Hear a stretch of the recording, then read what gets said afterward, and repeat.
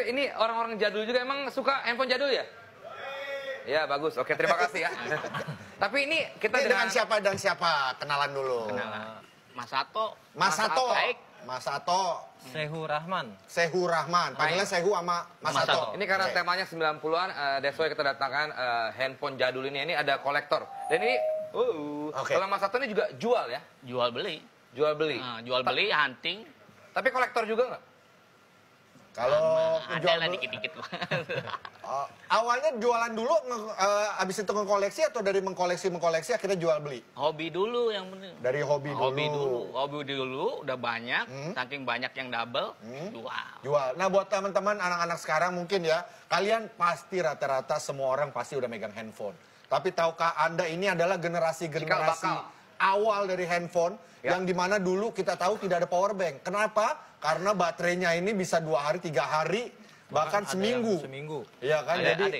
tidak ketergantungan dengan power bank seperti yang- Betul, betul. yang sekarang kan. Dan bunyi teleponnya masih polifonik, ya. Hmm. Kita titut. Ada yang monoponik juga. Nanti kalau sekarang kan bisa lagu Iya, gitu. ya. Kalau Sehu dari kapan lu mengkoleksi handphone ini? Kalau suka tuh tahun 2008 sebenarnya. Oh 2008. Oh, mulai koleksi-koleksi sampai Awalnya saat- apa yang pertama? Gara-gara apa yang memicu? Kayaknya unik aja gitu kalau Hmm. dikoleksi karena perkembangan mungkin ada museum museum-museum selain handphone kan Ya, ada tuh otomotif. kayak otomotif museum ada Hmm. motor ada mobil ada nah handphone kan belum ada nih mas Ya. jadi kita coba Oke, Apa? kan eh, lo kan kolektor. Yang paling susah dapetinnya yang mana? ini Coba. Lihat, Nah, kita lihat ya, ini dia. mungkin Tipe Kecil ya. ini? Ini tipenya contoh prototype. Jadi Prototype. HP sampel ya. ini tidak dijual. Prototype. sampel Prototype Sampel pabrik yang paling Sampel susah pabrik. dicari. Jadi ini prototype. Iya, ya, oh iya. Iya. Prototype. Coba kita lihat. Jadi ini tidak diperjualbelikan ya waktu dulu Ah, juga ya? betul Karena ini, Sampel pabrik itu. nah, karena ini prototype. Loh, Tapi ini dapetnya di mana? Tuh. Itu dapat dari temen juga sih sebenarnya dia koleks kolektor juga Oke, kalau kayak bisa dapat barang kayak gini, harganya kira-kira berapa? itu sekitar 7 juta setengah sampai 10 juta eh jangan dibantu. 7 juta kaget saya. Tapi untuk melengkapi malam nostalgia kita karena kita juga temanya adalah 90-an, Amin. kita mengundang seorang yang dulunya adalah penyanyi cilik dan juga pasti mengalami namanya punya handphone seperti ini. Eno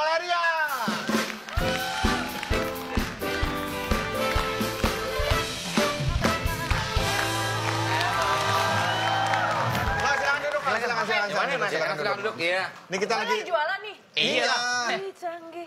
Dia latah nih ternyata. emang bener Eh, Eno, ini personal ini ada Mas Tehu ya. Iya, betul. Tehu dan juga Mas Prototype.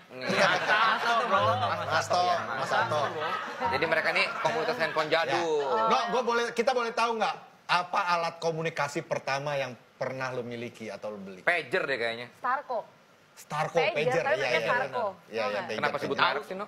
Udah nggak ada juga Ya, kan? udah ada. Masih ada, cuma kagak ke bawah tadi. Oh, kenapa nggak di bawah? Masalah apaan sih sebetulnya? Tapi eh, dulu pakai pager. Pakai Ingat pager. nggak kalau kita misalnya mau eh, sampein pesan tuh harus diulang dua kali ya gitu kan ya. Iya, pokoknya Ada yang mengalami masa-masa pager? Enggak ya. Ya. Nggak tahu, mereka nggak tahu. Iya iya iya. Jadi kalau misalnya kangen sama pacar, kita telepon operator, Bo. Iya gitu, Ibu Bo. Ilu. Iya, iya, rata-rata I love aku you, tahu iya, iya. Rata-rata waktu kita main pager kalian masih berbentuk cairan mungkin ya. Kita masih belum jadi. Wah, Loh, banget berarti. Zamannya ini ada salah satukah handphone yang pernah lo miliki dan berkesan? Ada pasti. Ada, ini apa namanya Nokia sejuta umat. Ini ya? Yang Eh, bukan, bukan, bukan, yang Yang ini, mana? 5110. 5110 Oh, yang mana? satu. 5110. Oh, ini baterainya Iya, kuat ya? Itu main snake-nya tuh, snake-nya. Snake. Ngetop ya snake-nya ya. Warna-warni, ini ya. bisa di, apa namanya casingnya bisa Lima satu, bisa ganti Bisa pada ganti. Ericsson, Ah, Ericsson itu ada U. Iya. Iya, tenang aja, tenang aja.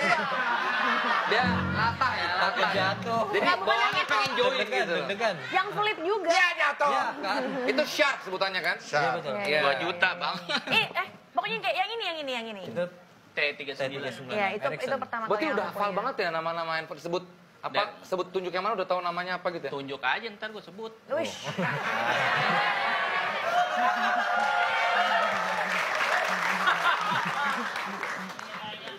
tapi dari semua handphone ini yang paling lo ingat yang lo paling lah pakai paling lama yang mana, No? yang Nokia ini 5110 karena dia kan memang pertama kali Nokia ya kalau nggak salah. Enggak Tapi- juga ya? Enggak juga, ada itu lagi pertama kali yang paling ada. agak lumayan murah. Tapi setelah itu ada dilihat. antena di, di papas. Iya, betul. Itu di 5 eh 5 Enggak, berapa?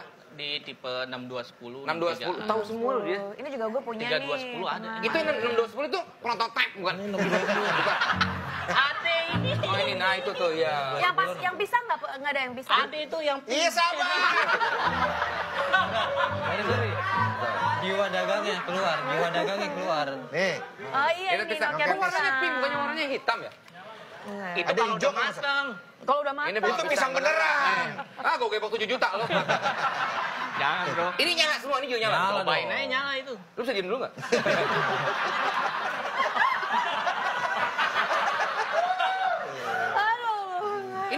Telepon nih. Dan berwarna layarnya ya, berarti udah lumayan masa-masa ke sekarang dong. Monoponik. Masih poliponik, poliponik. Monoponik. Oh, Monoponik. monoponik. Oke. Ngomong dong lu, eh.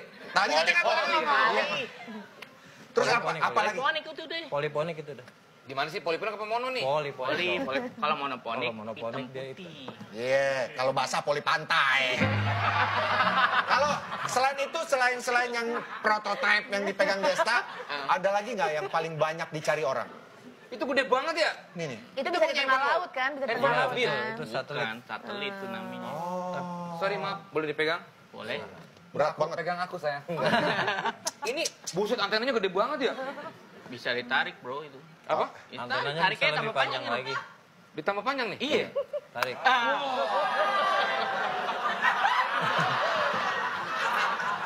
Gua kira panjang banget cuma segitu gitu doang. Tapi ini bisa nyala juga. Ini masih tahun berapa ini? Itu tahun 95 nih. Kalau ada yang nyari kira-kira harganya berapa sekarang? 15 juta. Mahal amat. Woi, mau gak nih? 15 juta. Ya, itu flip bisa dicoba flip. Flip. Nah, itu buka. Bawah paling Bukan bawah. itu. Aja, Bawahnya kalem Buat aja. Ya sabar, sabar. Tada. Nah. Wow. Jadi ini 15 juta. kondisi 15 semua yang dikoleksi adalah nyala dan sehat. Normal. Normal. Normal. Wow. Jadi kalau mau gabung sama komunitas kalian bagaimana? Ikut Facebook, Facebook. aja ada. Batavia Jadul Community at Batavia Dancer itu ya. Jadul. Oh. Apa aja nama Facebooknya apa? Batavia apa? Batavia Jadul Community. Batavia Jadul Community. Terima Mana kasih kalau gitu Mas Sato dan juga Sehu. Ya. Teman-teman Batavia Jadul Community terima kasih. Setelah ini kita akan nostalgia lagi lagu-lagu masa kecil bersama Eno Lerian dan